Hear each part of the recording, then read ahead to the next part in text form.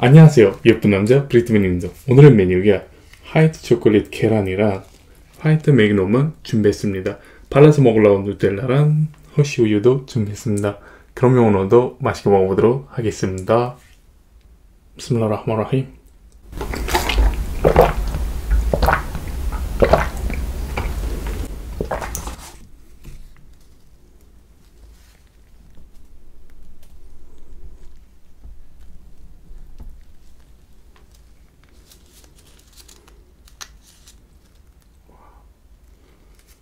بسم الله الرحمن الرحيم.